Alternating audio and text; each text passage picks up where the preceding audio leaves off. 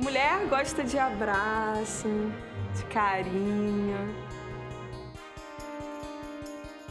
Mulher gosta de ficar bonita.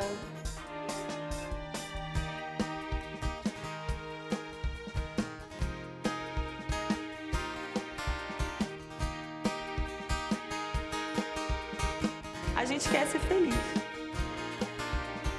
Mulher quer ter o seu espaço.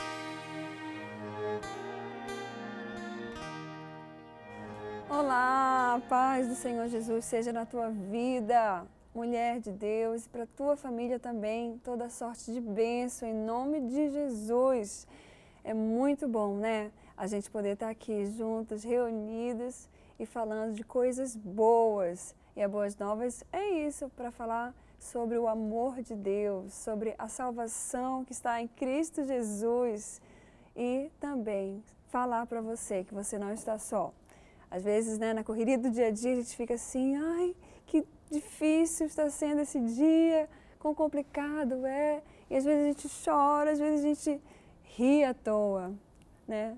Às vezes a gente fica bravo com situações. Mas será que essa, essas emoções que você está tendo estão equilibradas? Já parou para pensar que tem momentos que você poderia estar em paz, mas você está tensa? Ou então tem momentos que você poderia está chorando e você nem consegue chorar, né? E a gente vai falar sobre isso. Hoje a gente vai falar sobre é, como manter esse equilíbrio emocional, que a gente vive numa vida frenética e às vezes está meio tenso demais e não consegue nem curtir a vida da maneira adequada, porque estamos presos no passado, tenso com o futuro e não vivemos o presente. Eu espero que o programa de hoje possa nos ajudar ajudar a mim, ajudar você, todos nós a vivermos uma vida mais equilibrada. Afinal de contas, o Espírito Santo de Deus é, frutifica em nós algo muito especial, né? Que é o domínio próprio. Eu acho que observar tudo isso é inspirador e abençoa muito a nossa vida. Bom, para bater esse papo comigo hoje, tem uma galera aqui de peso. Muita gente, olha como o sofá tá cheio. e vai conversar comigo aqui a Vanesca Medeiros, que é psicóloga e especialista em terapia de família, dependência química e psicologia bariátrica. Uau! Tudo bom? Tudo bem. Obrigada por vir aqui participar com a gente compartilhar um pouquinho do seu conhecimento. Deus te abençoe. Amém. Eu que agradeço o convite. Espero que eu possa compartilhar com vocês boas informações. Sem dúvida nenhuma. Também o Alan Felipe, que é psicólogo e psicoterapeuta. Obrigada pela sua presença. Eu que agradeço. É um prazer enorme estar aqui no seu programa. Deus abençoe, viu? E compartilhe mesmo aqui todo esse conhecimento para que possamos ajudar. Não só nós mesmos, né? Mas quem está em casa e se multiplica ainda e muito mais. Porque cada pessoa que é abençoada, ela leva essa bênção e dá para outra pessoa, né? Compartilhe a bênção. Vamos ter aqui o ministério, já estão aqui, né? Mas eles vão cantar para gente é o Ministério MPB Deus. Eu perguntei já curiosa para eles, mas tem aquela pegada mesmo de MPB, aquela música assim que é gostosa de ouvir? Eles falaram que tem, a gente já vai ouvir. E aqui a Kelly, a Paula e o João. Obrigada pela presença de vocês. Obrigada, foi um prazer. É uma alegria estar aqui. Todo, todo é, grupo, existe um líder. Tem entre vocês é, o líder, aquele que fala mais, ou então tem Aqui, quem é o líder desse, do grupo? É, é o João. Alguém, alguém tem que puxar a corda, né? Acho que as mulheres deixaram a responsabilidade para é, ti. Esse ministério foi criado há uns três anos atrás. Novinho. Através de um ministério de família da nossa igreja. Nós uhum. somos da Academia da Fé da Tijuca. Uhum. É, nosso pastor tem um investe, investe muito forte nas famílias, né? porque o, nesse mundo tão louco, tão vulnerável ficam as famílias. Uhum. Então nossa igreja passou a trabalhar muito forte.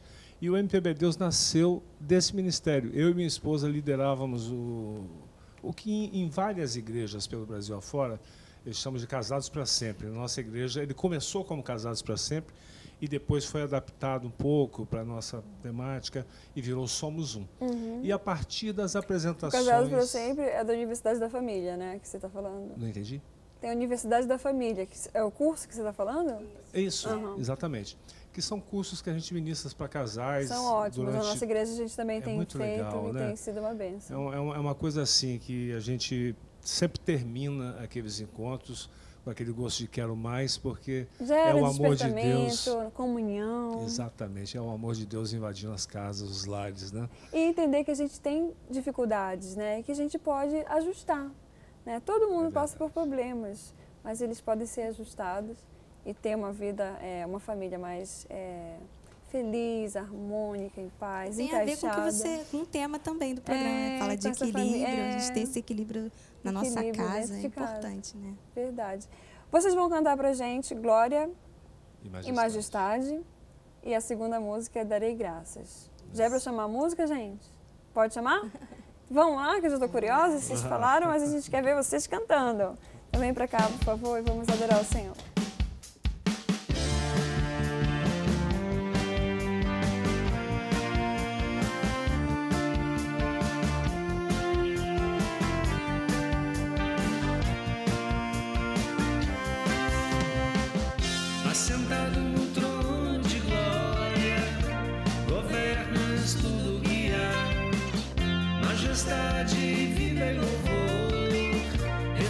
Resplandecem o seu amor, brilhas mais que o sol, os céus não podem conter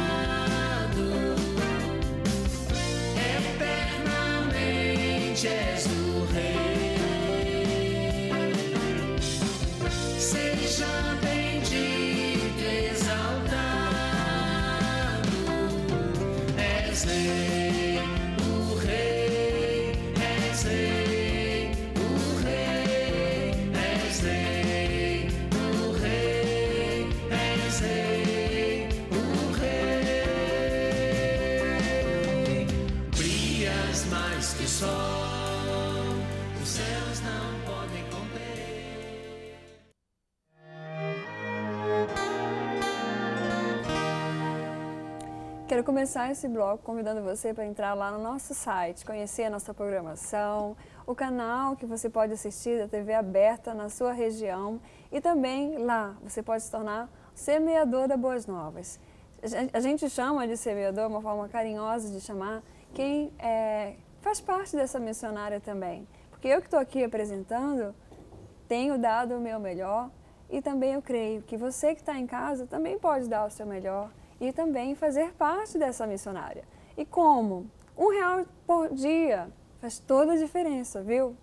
Mas se você não puder dar um real, você pode dar aquilo que você tiver.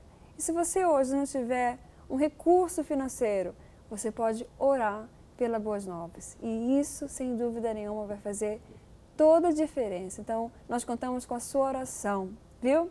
Já que você vai estar lá na internet navegando, entra no canal do YouTube. Se você perdeu alguma programação, algum dos nossos programas, lá tem todos inteirinhos para você assistir, conhecer nossos convidados e um pouquinho sobre os assuntos que estão lá, viu? Muitos programas legais para a família que abençoam mesmo a sua vida. E também entre lá no Facebook e no nosso Instagram. Curte, segue a gente lá, tá? Porque lá a gente coloca todos os programas que vão ao ar. Então, você vai ficar sabendo logo o que vai acontecer, o que, vai passar, o tema, tá bom? Eu tenho certeza que vai ser uma benção, uma alegria para a gente ter você lá com a gente. Bom, a gente vai conversar é, sobre como manter o equilíbrio emocional. E eu encontrei aqui um versículo que eu acho bem interessante da palavra de Deus, que se encontra em 2 Timóteo 1, lá no versículo 7, que diz assim: Porque Deus não nos deu espírito de temor, mas de fortaleza e de amor e de moderação. Bem interessante, né? Olha o que Deus nos deu. Mas muitas vezes esse relacionamento com Deus não está tão equilibrado, né? As nossas emoções, as situações que aparecem diante da gente são situações difíceis e aí dá uma balançada. O que explica pra gente, é, Vanesca, o que, que é o equilíbrio emocional? Estar equilibrado emocionalmente significa você estar é, em contato, né, com a, primeiro com as suas emoções, uhum. ter consciência das suas emoções, ter consciência é, das suas atitudes diante dessas emoções né, e do seu ambiente. Como você lida com o seu ambiente, como você lida com os seus conflitos. Uhum. Porque todos nós, ainda mais nos dias de hoje, não é? Que tá, o mundo está tão difícil, está tudo tão difícil. Né? Quando a gente fala é, em equilíbrio emocional, eu às vezes penso que isso seja um pouco utópico nos dias de hoje. Uhum. Né? Ah, quem é um ser você conhece um ser equilibrado? Eu às vezes fico pensando, quem é equilibrado totalmente? Passa por momentos equilibrados, Exatamente, mas vai ter momentos que vai né? estar um pouquinho Porque quando falamos, né, ah, o ideal, nós precisamos ser equilibrados, uhum. isso é muito complicado, né? Porque nós temos altos e baixos. Então, esse equilíbrio, é, ele pressupõe que você tenha um contato com as suas emoções, saiba lidar com essas emoções de uma forma é, emocionalmente inteligente. Que ele esteja de acordo com aquilo. De né? acordo com o momento e que seja uma, uma situação que não vá te colocar em riscos, não é? Não vá colocar, no caso a gente está falando aqui de família, não é?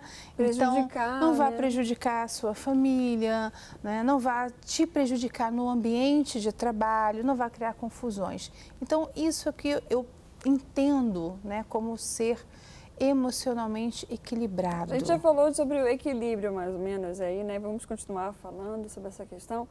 Mas é, eu queria saber de ti, Alain, quando é que eu identifico que eu não estou equilibrado, né? que minhas emoções não estão de acordo. Como é que eu sei isso? Alguns é sinais, difícil eles, de saber. alguns sinais eles acontecem, né? É, às vezes um prejuízo na atenção, uma atividade que você fazia com certa facilidade, hoje você já percebe uma dificuldade nessa atividade, é, um desequilíbrio nas relações, a perda da paciência, um humor alterado. Uhum. Aí a gente identifica é, esse desequilíbrio, né? O nervosismo. Um nervosismo exacerbado. E quando a gente fala de equilíbrio, de inteligência emocional, de gestão das emoções, é importante a gente falar antes do autoconhecimento.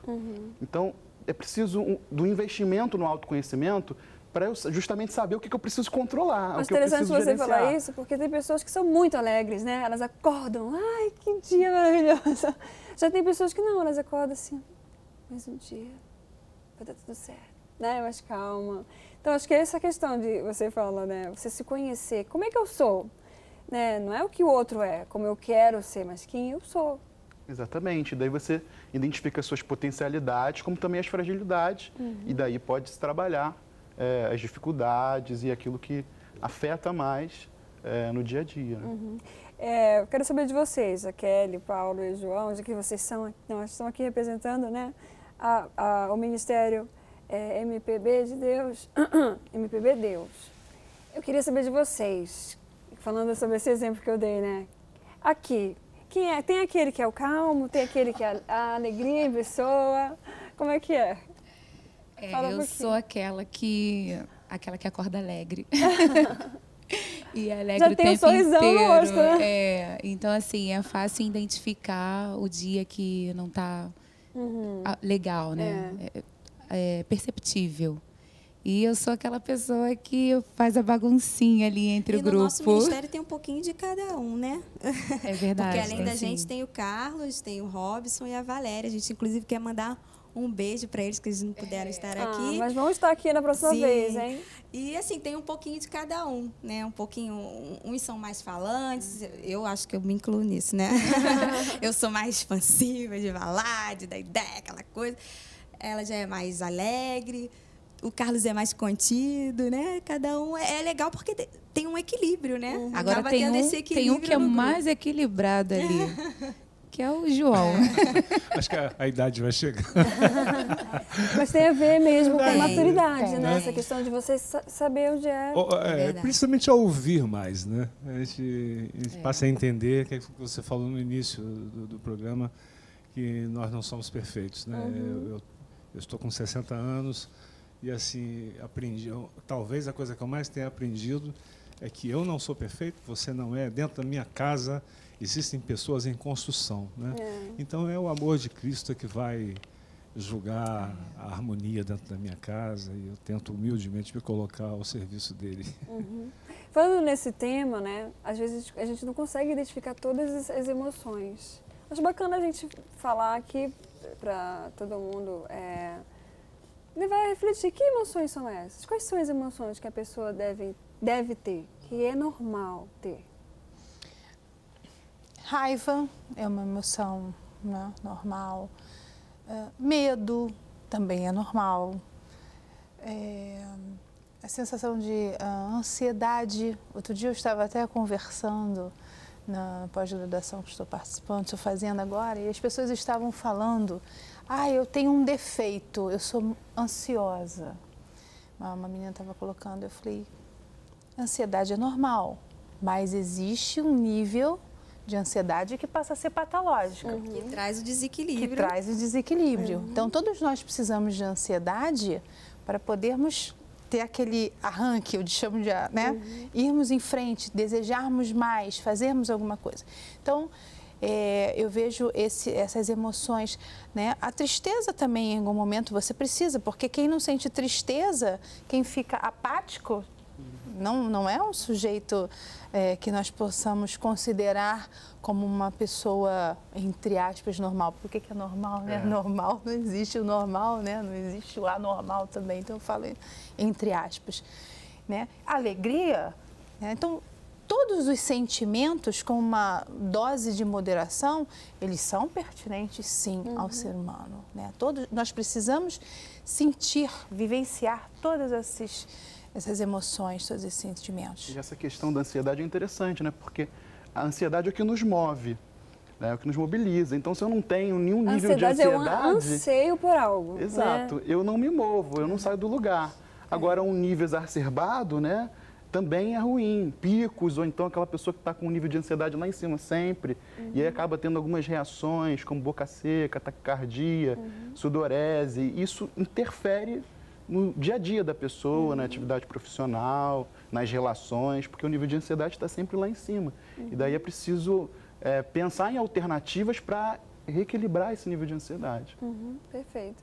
E isso tem, é, essa questão é muito, acho muito interessante falar, porque até a gente tem identificado é, desequilíbrio nas emoções de crianças, né? Que era para estar vivendo uma vida leve, plena, mas de ver eles estressados e chateados e e às vezes não controla, não sabe né, se controlar muito bem. Eu acho que a criança a gente consegue identificar muito forte isso, Sim. né? Eu trabalho com crianças também porque eu, eu estou, no momento, gestora Uhum. de um espaço de desenvolvimento infantil no Rio de Janeiro. Então, são crianças de 4, 5 anos. E Que é extremamente espontânea, né? eles são Quando espontâneos. tá feliz, tá muito feliz. E quando infelizmente tá, nós, exatamente, verificamos sim a ansiedade, né? Nós infelizmente verificamos várias patologias já, Uhum. crianças sofrendo com transtornos mentais, coisas que antigamente nós não Pressão, falávamos. Né? Muitas, press- muita Se, pressão. se você assim, observar a né? agenda de uma criança hoje, é a agenda de um adulto. É a escola, é o balé, é o judô, é o inglês, é o curso de informática. É, uma agenda abarrotada de compromissos e uma pressão muito grande. Fora né? a exposição tecnológica, que gera ali né, uma constante. é, suga ali a emoção da pessoa, da criança, né? Porque ela está 24 horas quase. Em ligada. casa cabe a gente, mãe, família, ter essa sensibilidade, essa é, perceber, né, e saber. Eu tenho três filhos e são adolescentes já grandes, então tem que saber, sabe, como lidar com cada um, com cada idade. Eles se cobram demais. Eu queria saber de vocês, é, como é que faz então para manter esse controle emocional, mesmo diante desses momentos difíceis? Eu acho que um, um tópico muito importante é, a primeira coisa, não criar expectativas. Isso é uma coisa muito importante, porque nós, seres humanos, nós temos uma tendência muito grande a criar expectativa diante da vida, criar expectativas diante das pessoas, criar expecta- expectativas diante do outro. E quando nós criamos essas expectativas, nós acabamos nos frustrando.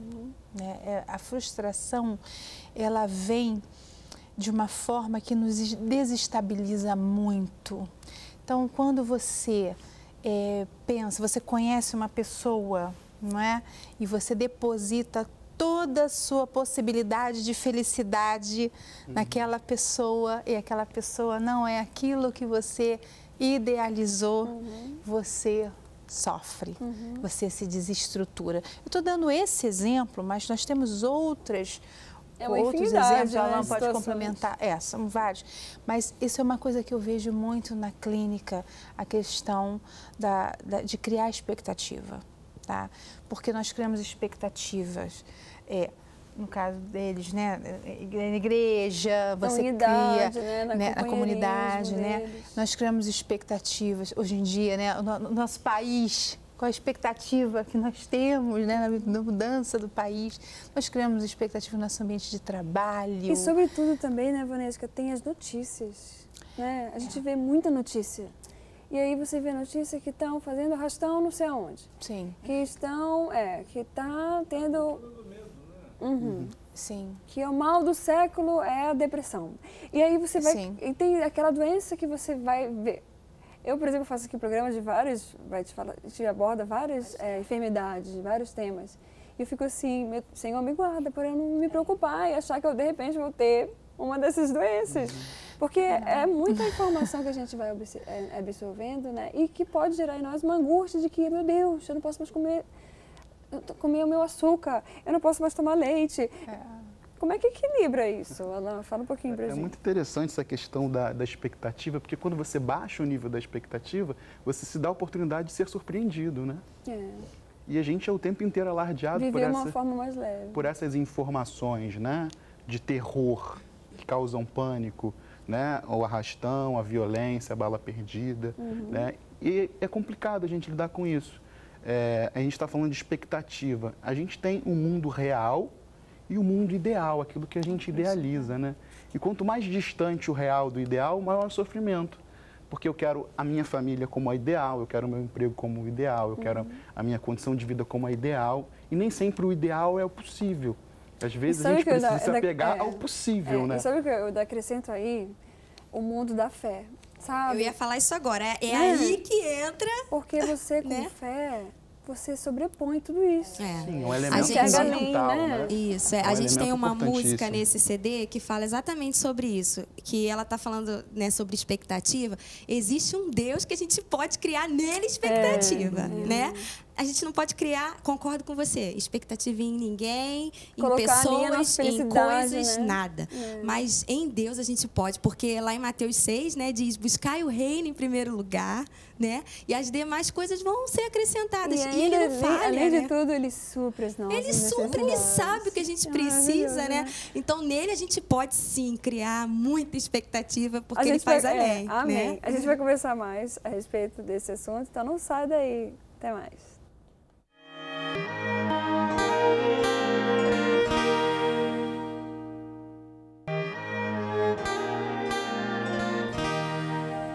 Como manter o equilíbrio emocional? Esse é o tema de hoje.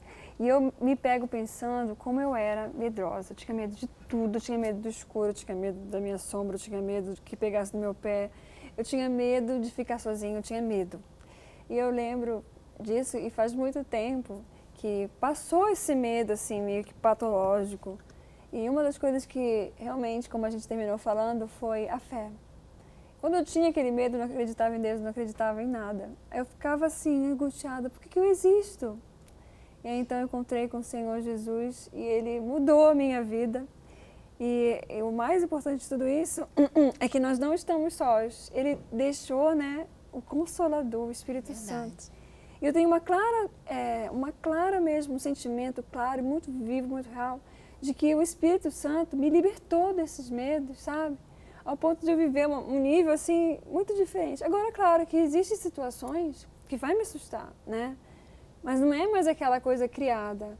É, porque quando você tem medo do escuro, você tem medo de uma coisa que você está criando, não é real, né? Como é que funciona essa emoção do real e do imaginário? É, é, a questão do medo é, perpassa muito por questões inconscientes. Isso é um tema longo, né? O porquê de você ter medo daquilo, Mas até da a raiva outra. não pode ter vindo de uma coisa que não, não é real, que foi construída, imaginada. É, a raiva, aí nós teremos que, cada abordagem explica de uma forma, não sei qual a abordagem do colega aqui, né? Eu trabalho com uma, uma abordagem motivacional, então eu tenho, teria uma explicação, né? Mas mesmo assim, é, você falou essa questão do medo, né? Às vezes as pessoas têm, ah, eu tenho medo de elevador, Altura. né? Medo de altura, e nunca vivenciou uma situação de perigo dentro de- do elevador, tá? Então, quando a gente para para fazer a análise dessa pessoa, a situação foi algo inconsciente, veio lá. Uma coisa que enfim. viu, às vezes. É, ouviu ou alguma situação de infância dela ter ficado presa em algum outro local e aí ela transporta esse medo para o elevador. Enfim, é um pouco complexo para a gente entrar. Porque não deixa de ser uma caixinha, né? Ali que você entra e está fechado. Exatamente, né? Eu já atendi vários pacientes com, com essa questão do elevador. Por isso que eu estou trazendo o avião Entendi. também, o É. avião. Também avião é fica muito ali comum. não dá para sair, né? É, o avião, ah, o avião vai cair. Tá, ah, eu vejo aviões caindo, então eu não vou entrar no avião porque o avião vai cair. Tá, o avião, um ou outro que cai, né? O avião é o passa meio de um transporte mais e seguro. você não tem tanto medo de entrar num carro do que no Exatamente, cair, né? né? Então, assim, o- a questão do medo é, uma- é um assunto, assim, bem com- comprido, né? Bem extenso para a gente falar. Agora, existe uma coisa em- que eu acho, assim, importante, nós temos até, eu até trouxe aqui anotadinho uma colinha. É, que né? eu, eu- é questão que eu te Importante. perguntar. Como é que a gente faz para tratar essa Essas questões da- da- fo- foge, do né? emocional, né, do equilíbrio emocional que eles trouxeram, né, a questão da fé, que eu acho também muito, muito importante, seja a fé, né, a gente, eu tenho uma visão da questão das religiões, né, respeitando todas as religiões, todas as crenças, não é? Pra você se apoiar, né? Exatamente, né? Eu solto. falo muito na questão do- do- da- dessa fé, ah, até porque eu trabalho com pessoas de todas as, as crenças, Uhum. né, e tal. E, o que ela falou, eu fiquei aqui pensando, buscar soluções, porque o equilíbrio emocional, né, existe esse segundo passo, buscar soluções. Então, como você vai buscar a solução para encontrar esse equilíbrio emocional? Uns às vezes identificar é fácil, né? né? Identificar o problema é um passo, mas às vezes é mais fácil Exatamente. do que você solucionar né? esse problema. Bus uns buscam através da fé, não é? Então isso é mais um passo importante também. Ah, um outro passo, fonte de inspiração. Você tem que ter uma fonte de inspiração para poder lidar com, com um desequilíbrio, né? E vislumbrar esse equilíbrio, lidar como eu vou, o que, que eu preciso na minha vida. Por que eu vou enfrentar isso? Né? Exatamente. Uhum. O que, que eu preciso para a minha vida ser diferente, para eu me sentir bem, para eu me sentir feliz, né? E saber, né, seguir em frente. Eu acho que é assim, um passo muito importante, né? A situação que nós estávamos falando anteriormente da violência, né, que é eu falei para vocês para vocês anteriormente, né, que trabalho como gestora numa escola, é numa área de risco, uhum. né? É algo assim muito complexo, muito complicado uhum. hoje em dia. Então, a gente vive sempre em conflito. Uhum. E equilíbrio emocional, estou aqui falando sobre um assunto. Você vive diariamente, né? Tentando se equilibrar. Né? a minha, né? tem que ter. Quem não vive? E você. Em todo lugar, né, hoje em E vou ser bem sincera com vocês, bem sincera com vocês. Em muitos momentos eu me desequilibro sim, uhum, porque uhum. eu sou. Ser humano, né? Exatamente, eu sou ser humano. Então, existem momentos que eu não consigo, né? Não dá. Tem momentos que a pessoa não consegue ficar equilibrada. Quando a pessoa está nessa situação crítica, que, que ela deve fazer? Né? Já que a gente está abordando esse assunto, e é muito importante a gente ajudar quem está em casa. Poxa, quando é eu estou posso... gritando, quando eu estou louca, quando eu estou com raiva. Que... Vocês já passaram por uma situação dessa? O que, que vocês é... fizeram? Nós temos aqui a fé e o conhecimento uhum. né, é. técnico para falar. Eu vou dar um rápido testemunho meu aqui para você. Por favor. Eu nasci numa família, eu sou mineiro, numa, mineiro tem muita coisa, parece português, né? É, muita coisa da família. Né? Eu cresci num ambiente muito família, família, família. Perdi meu pai muito cedo, meu pai morreu muito jovem. Quando meu pai morreu muito, faleceu muito jovem, eu, eu fiquei com muito medo da morte. Uhum. Aquilo sempre me acompanhava. Parecia uma coisa muito Era um né? fantasma né? que me acompanhava. Meu pai faleceu com 46 anos e eu passei a achar que eu faleceria Era com o próximo. Já, aconteceu, já conheci pessoas tá. assim. E eu fiquei anos assim. e anos aqui, assim, meu Deus, quando chegar aos 46, será que eu vou passar essa barreira e tal, tal. E, e assim, eu, eu, sempre, sempre fui músico. Já passou bastante, e, né? Eu, eu, eu tive, assim, uma, uma, tive aquela fase é, mundão mesmo, uhum. mundão largado no mundo, por coisa de profissão. Então, fui dono de trio elétrico, então eu experimentei muitas coisas erradas ou não, não sei, extremos, vamos entrar nesse né? âmbito. Mas, assim, esse medo que me acompanhou a vida toda, quando eu estava aproximando os meus 50 anos, a pessoa mais importante da minha vida, que era minha mãe, que assim que eu tinha uma relação tremenda com minha mãe, chegou o momento dela partir. E eu estava perto daquela idade que eu imaginava que eu ia. Moral da história, eu fui vítima de uma doença que para nós é satânica, chamada síndrome do pânico. Uhum. Os meus, eu comemorei meus 50 anos trancado dentro de casa. Fiquei um ano trancado dentro de casa. Medo de morrer. Fiz tratamento. Medo de adoecer, medo de... Foi maravilhoso a ajuda do profissional para mim. Mas uhum. sabe o que, que me curou? A fé. Uhum. A fé pode gerar um milagre Transformar na nossa o vida. pensamento, né? A Acreditar fé, em algo diferente. A fé pode gerar um milagre na nossa vida. Eu um dia entrei, desculpe estar sendo um pouco prolixo assim, mas eu entrei um dia na, na, nossa igreja, foi quando eu me converti. Eu sabia que Deus estava me chamando, eu tinha uma missão para fazer e tal, mas aquilo também me dava um pouco de medo, que é aquele medo que muita gente que está fora, assim, mas eu tenho que abrir mão de tanta coisa. É, ser crente é, é parar de beber, é parar, de fumar, é parar de viver, com né? tudo, tal, tal, tal. Minha querida, eu entrei acho um que dia... só segurar essa rapidinho. acho que o maior, acho que uma das coisas mais importantes é esse é, controle. Na verdade, não é que é. você para, mas você controla o que você quer, é. o que você deseja, né? Como você. Isso é tão natural, né, que a Deus gente te nem. dá esse controle, é. né, que é o domínio eu próprio. Eu aprendi isso, que é natural. Mas um dia eu entrei na igreja e meu pastor estava pregando sobre aquela passagem da mulher com hemorragia, que ela creu que bastava ela tocar nas vestes de Jesus e ela seria curada.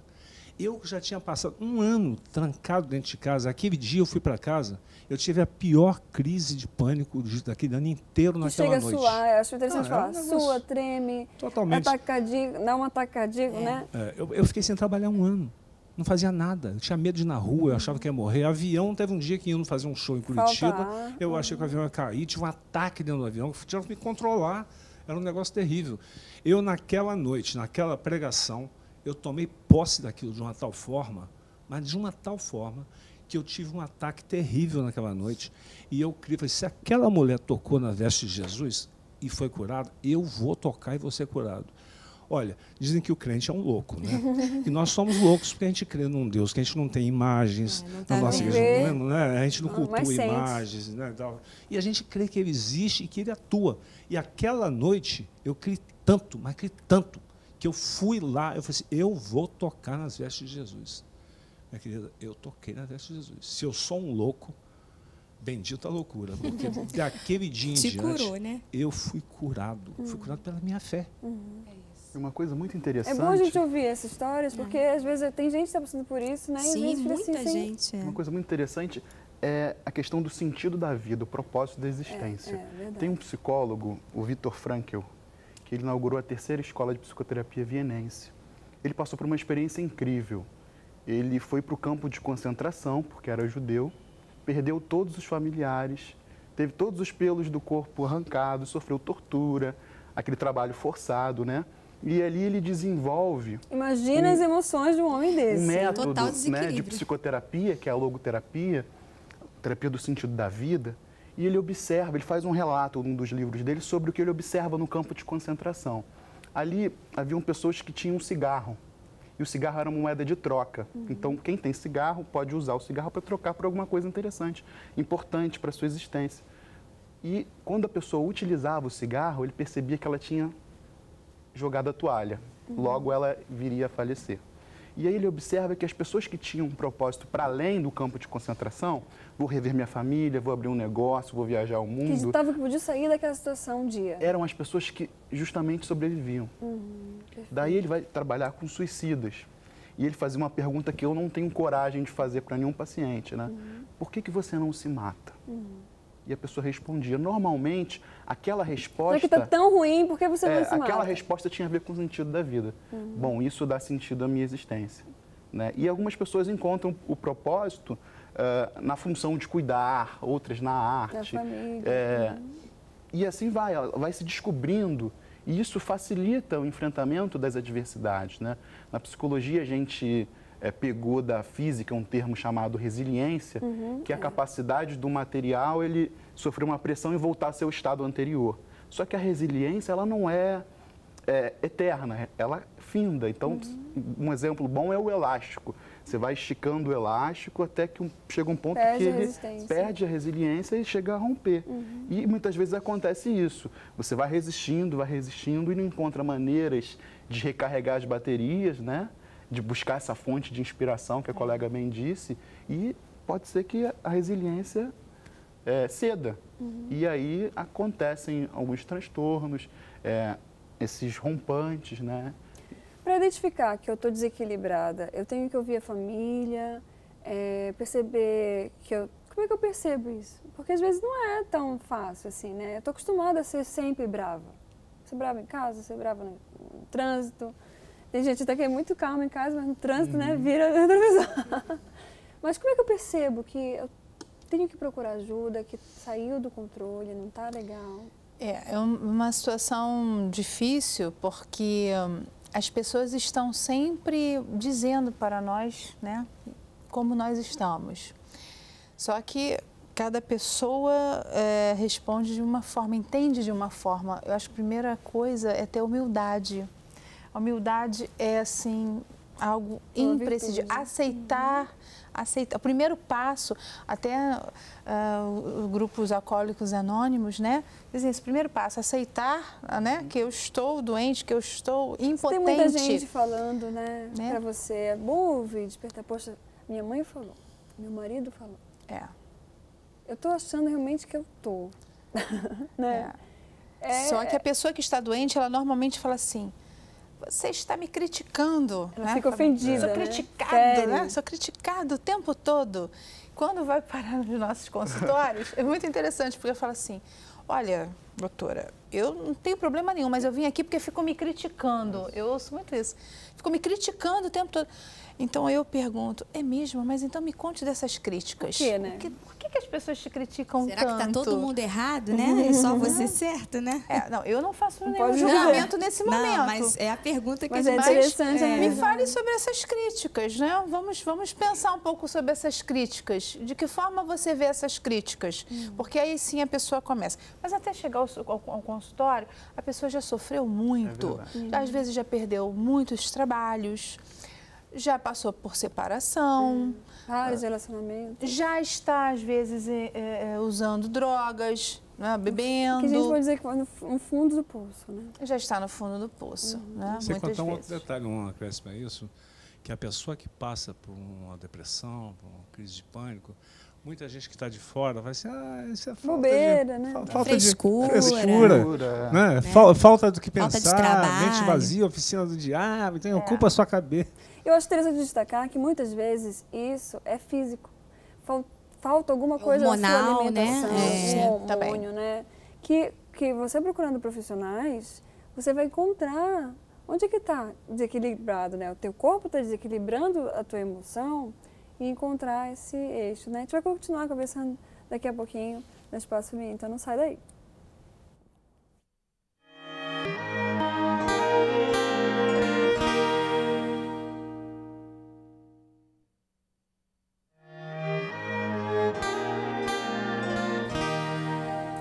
A gente encerrou o último bloco falando sobre a questão física, né, que mexe muito com a nossa emoção. Falta de hormônios, de vitamina, alimentação é, pobre, muitas vezes prejudica, é, ou dependendo da situação que a pessoa está vivendo, mulheres, né, na menopausa, é, após uma gestação, durante a gestação, que a gente sabe que mexe muito com essa questão hormonal também.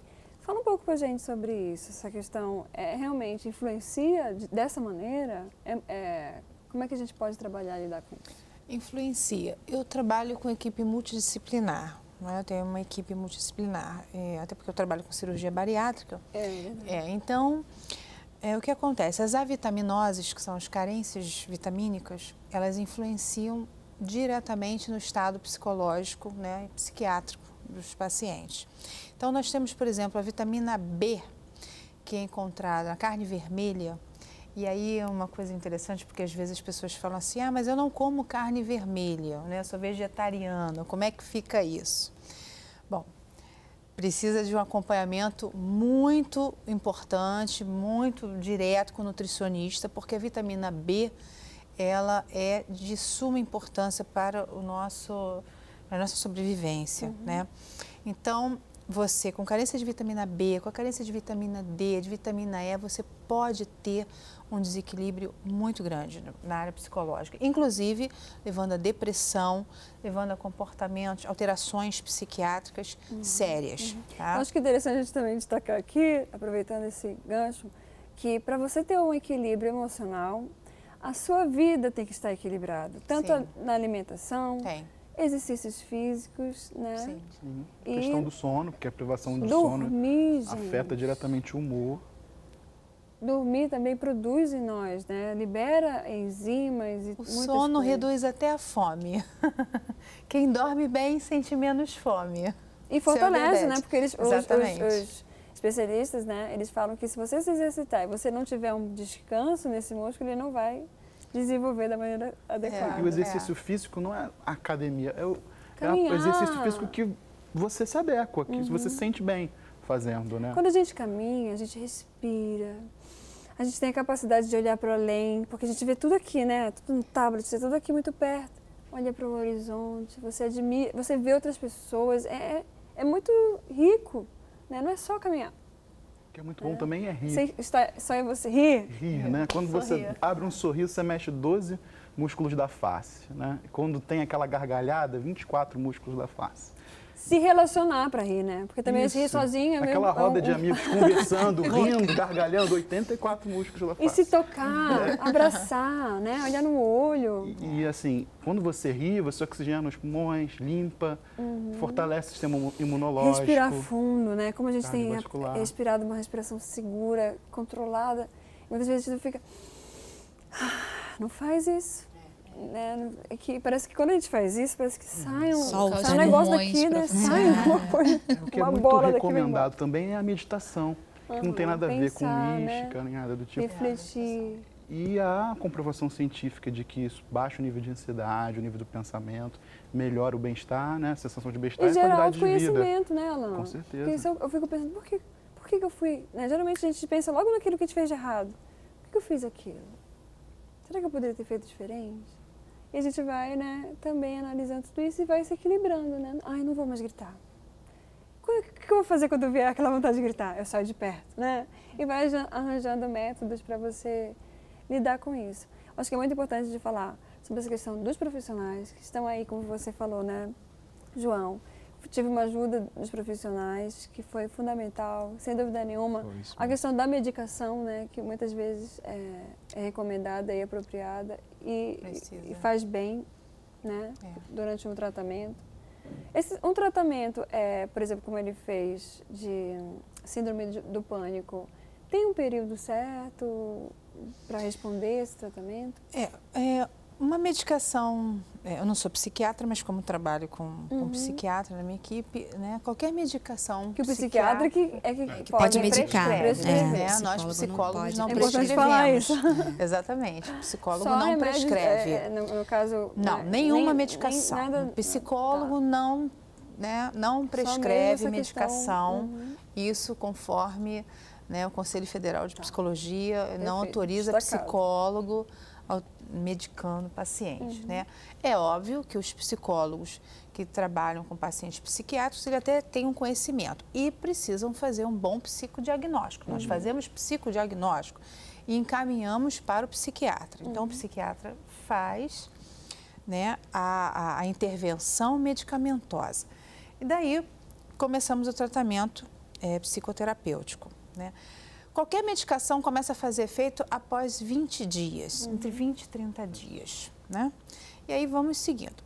Depende muito, né? Tem, Tem os calmantes, né, que no caso atua na hora, um calmante a gente É, acalma o naquele benzodiazepínico momento, ele né? atua na hora, né? Agora as outras medicações Que é para o tratamento, realmente. Normalmente não é uma medicação só que é utilizada, né? Gente, são utilizadas mais... E, e é importante que às vezes o paciente olha a bula assim e fica assustado. É. Puxa, Ler bula, né? É um problema ler É. bula, né? E não se lê. E até porque normalmente receita-se um antidepressivo. E o antidepressivo ele tem diversas finalidades. uhum. Desde ajudar na TPM, a dores crônicas, a tratar a depressão. Gente, quero agradecer muito a participação de vocês. Eu tenho certeza que foi enriquecedor. Pra gente foi bom, né? Eu fico imaginando que também o pessoal que está em casa, tá? Muito obrigada. Quero também aproveitar para agradecer a Fairuz, que sempre me prestigia. Estou aqui usando um brinco lindo.